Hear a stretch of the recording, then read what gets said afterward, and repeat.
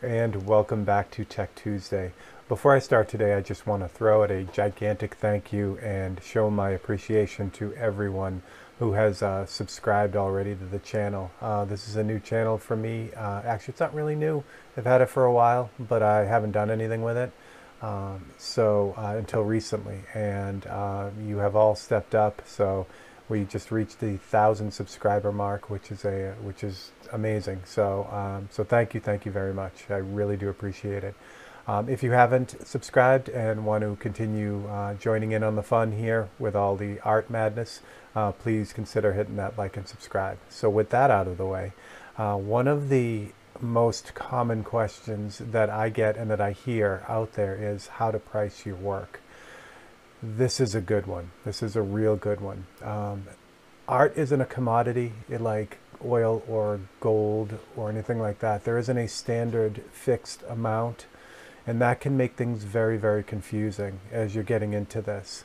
Um, if you're looking to sell your art and you look online, for instance, at uh, what other people are selling artwork, it is literally all over the road. and uh, that can make everything very confusing.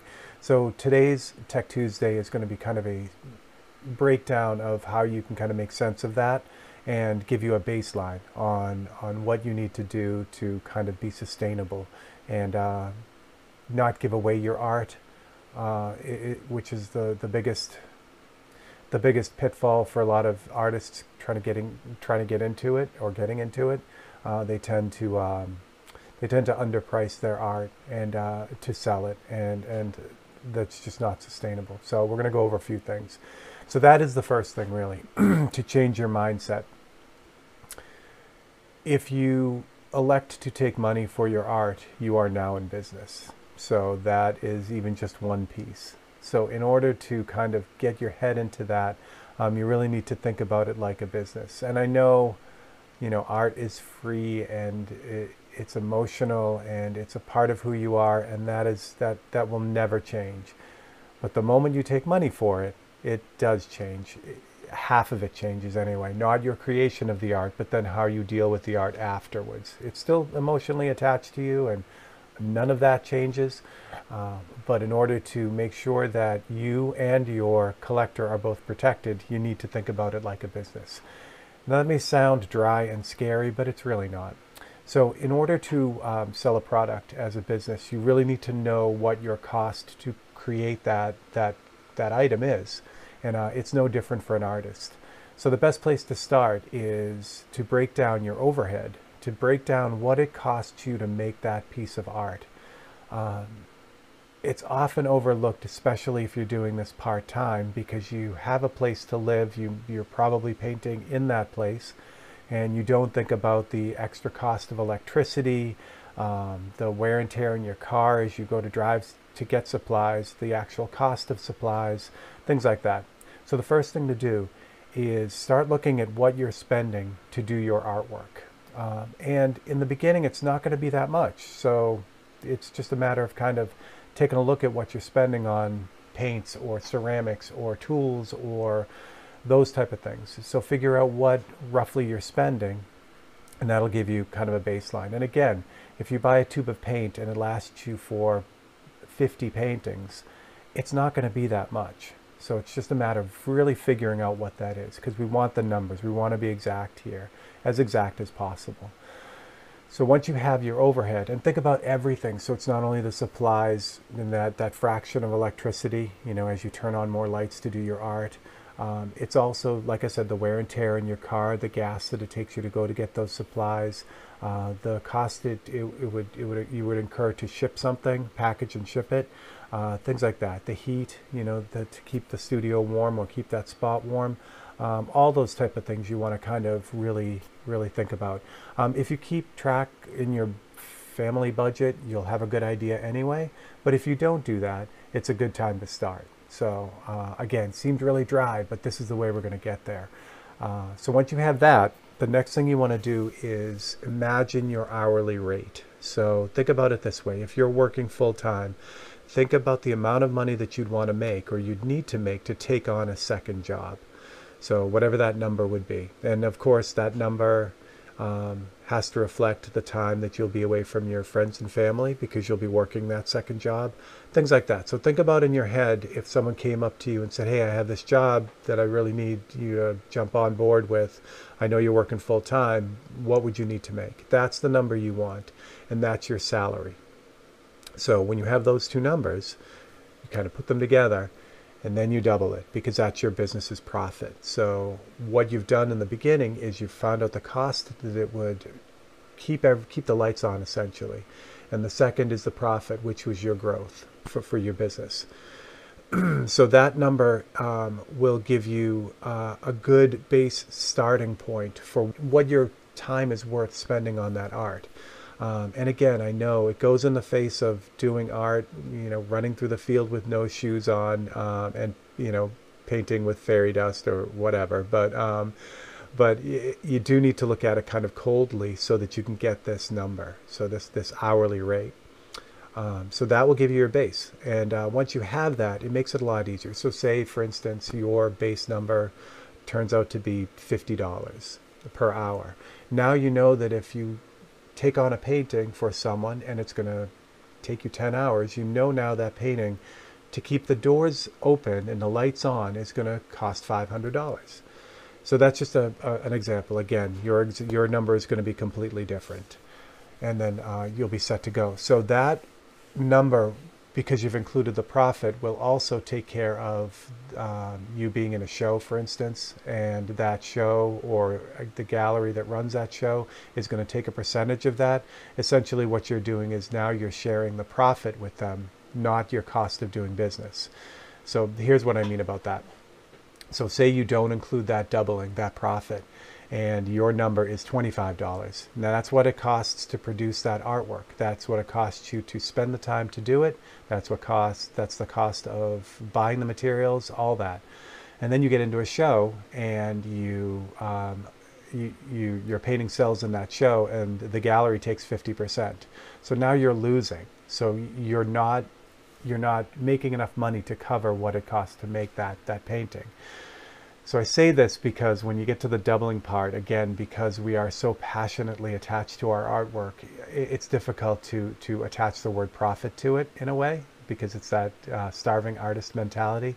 But uh, you really have to look at it as a win-win. It has to be a win for everyone. You can't take a loss on it because it's not sustainable. You won't be able to keep doing it. Uh, and and that, that's what that, that is. So always think of that, that win-win and um, it'll, it'll it'll help you uh, to stick by your guns essentially when it comes to things like that. And again, I use the $50 mark. It could be 100, it could be 200. Uh, whatever that number turns out to be is, is what you want to look at. All right, so that number again will give you confidence. It'll also give you confidence when you do an estimate. So if someone comes up to you and says, now, I, I would love you to paint this painting for me, what would it cost? You don't have to stand there like a deer in the headlights. You can look at it accurately and say, okay, I know that's going to take me 10 hours to do, so the painting's going to be $500. So the uh, profit area that doubling also is your place to um, to offer a discount. So um, if, uh, for instance, if a friend or family member uh, would like something done for you, and you feel that you know you wanna you wanna give them a break, essentially. Again, it has to be a win-win. Um, of course, you're going to do stuff for your family. I mean, that's that's just the way it is. But if your family really or friends really want to support you, um, this is this gives you an accurate way that it's a win for everyone. You can remove your profit from it, and they can just pay your costs to make it, and that's that works out really well. Um, again, there's a whole different thing about value in art too. You should always get that same value. Um, and I'll touch on this really quickly, but I, this is a whole other video too for giving away art. Um, again, I'm big on win-win. So if um, if you give away a piece of art, make sure that what you what you or your business receives in return is of equal value. So, for instance, if you donate a piece to uh, your favorite charity, you know that piece of artwork is going to generate. Um, say say they then raffle your painting, you know that your painting is generating the same value it, it, it was when it was being sold. You know what I mean? So so that that feeling, that win-win, is still is still there. So it it works the same way if you're giving away the art, but again, now you know that value. So, uh, so, so that's a big thing. And the same thing with family, you know, if you, uh, or friends, if you give that painting as a gift, you know what the value of that painting is now. And that's, that, that gives you confidence. It, it, it'll give you confidence and it'll, like I said, it's a win for everyone. All right. So one quick uh, kind of point on the whole um, marketing and looking at what other people are doing. So that's advice I hear a lot, and there is a lot of truth to that, which means you kind of look at what other people are selling their artwork for uh, that is similar to yours. That's both good and bad. Obviously, you have no idea of what that person's overhead is and what it costs them to make that art. So sometimes um, or if they're even doing it, it, accurately. You know, they may be producing a piece of artwork that's worth, that would cost you a lot to do, that they're giving away, literally giving away. So it's it's a it's a kind of a it's kind of a thing you got to take with a grain of salt as you're looking at other people who are selling similar work to yours. Um, it's a good idea to get a feel for the marketplace and, and what what is selling and how they're selling it. Um, but to use their numbers as your numbers can be a dangerous thing. So uh, I caution you for that. All right. So the wild card. The wild card is the duct taped banana for thirty-five or three hundred and fifty thousand um, dollars. This is where art gets interesting. Uh, there, there's a lot of room for growth, um, and you should plan for that. Uh, you should not plan to um, hit on a pet rock idea or a duct taped banana that, that you know will knock it out of a park for millions of dollars. While that's awesome, it doesn't often happen. So planning for that is probably not sustainable either. But you can plan for growth. Uh, and the way that happens is number one with increased demand. So as you do this more and more and more people want your artwork, you're going to have less and less time to do it. The demand will be higher on you. So as your as your time becomes more valuable, that also that will increase the, the amount you ask for your artwork. So that's where the real growth comes from. The other minor growth comes from overhead in a way.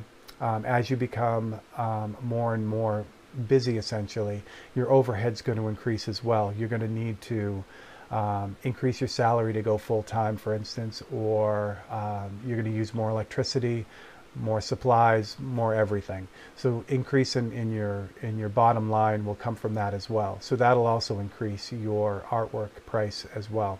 So those are the wild cards.